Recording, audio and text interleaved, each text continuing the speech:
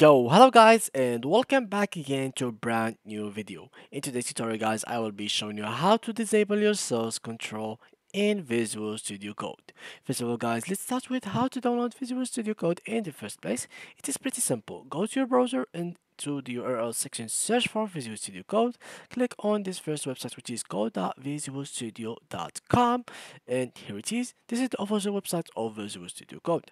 And as you notice here, guys, the logo is blue, so don't make a mistake or confused between the Visual Studio Code and the Visual Studio. As we can see here, Visual Studio with purple logo and the Visual Studio Code is bluish logo. So in this tutorial, I'm going to use Visual Studio Code and here you can download for Windows or else if you have other system or platform, you can use here Mac OS, Windows x64 and Linux x64.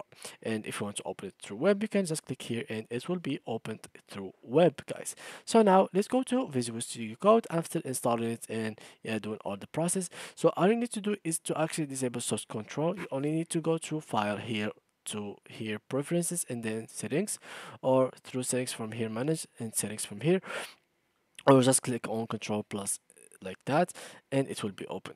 So all you need to do guys in the search settings which is a pretty simple thing go here search settings and write git dot auto repository detection and then false. So basically all you need to do is make it false through here so automatic process is scanning. And just like so you just need to actually like close your program and launch it again and everything will be good. So let's close it and let's open uh, Visual Studio Code and just like so you have actually uh, turned it off. So in order you wanted to turn it back on so you guys you just have to go to settings again come here and make it true to default settings and just like so you made it on. So yeah guys that was it for today's video. If you enjoyed please leave a like and thank you for watching